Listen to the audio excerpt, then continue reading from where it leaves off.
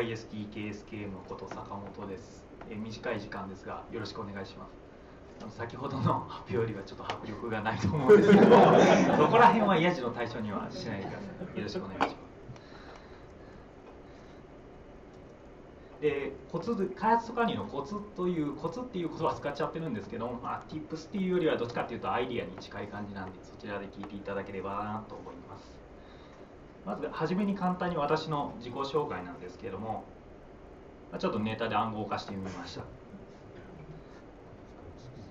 でこれを読み解くとですねあのノードで読み解くと、まあ、私の具にもつかないプロフィールが出てくるんですけどであら私はちょっとしたブラック企業にいるみたいですね。で結構やっぱ暗号化って面白くてでやっぱ歴史的な背景とかだったらですねあのこのサイモン・シンさんが書いた暗号解読とかその辺りの人ってすごく面白いんでぜひ興味のある方は読んでみてください。でちょっと遊びたいなっていう方は私ちょっとアプリとか作ってるんでまあ一回見て遊んでみてもいいかなと思います。でそんなわけなんですけどまあいろいろ忙しい中でですねやっぱり自分のアイデアっていうのをこうウェブアプリにして公開していろいろ作っていきたいなっていうふうに思った時にどうしようかなっていうのをいろいろ3年ぐらい考えたんですけどもまあそれを3分で30分って書いてるんですけど3分で話すんでまあ興味が湧いたらちょっとあのフォローしてくださいという感じです。基本的に、えー、アプリケーションを作りたいって思った時に必要なものって3つしかないと思ってて、まあ、1個目がやる気ですよ。ねで2つ目が知識と技術力で、まあ、3つ目がフレームワーク。でフレームワークの選択ですね。で、まあ、1番目と2番目と3番目だけでいいって4番目何かっていうと経験っていう場合もあると思うんですけども、まあ、紅の豚で飛行機を作った少女がですねすごい若かったように、まあ、アプリケーションも同じように経験は必要ないか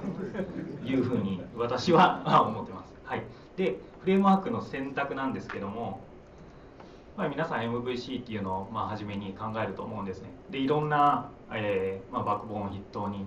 えー、MVC の概念があるんで絶対ここっていうのはなかなか捨てることができないっていうのは、まあ、まずあると思うんですね。でじゃあここでじゃあここの中からどれを選択するのって考える時に、まあ、一つアイディアっていうふうになってくるんですけども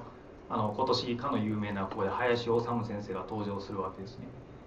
ここはどこなのとウェブでしょ？あちょっと違い言葉は違いますけどあとなんかじ若干だいぶ滑った感じがしますけど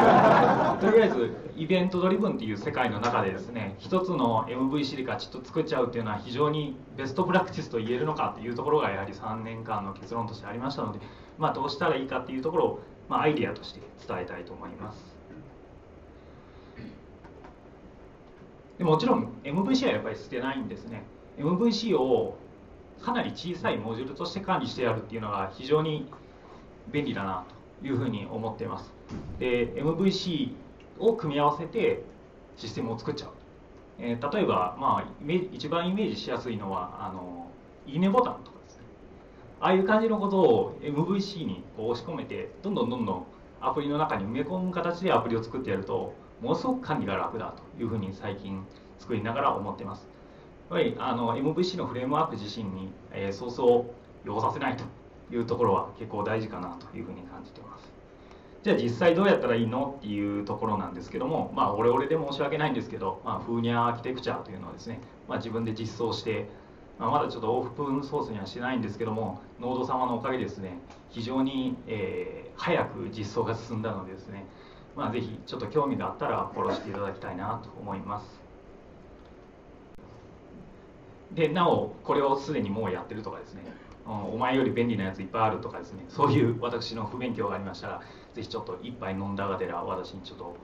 あの教えてくださればなと思います。以上あの時間制限がなかったおかげでちょっとゆっくり話せたんですけどもご清聴ありがとうございました。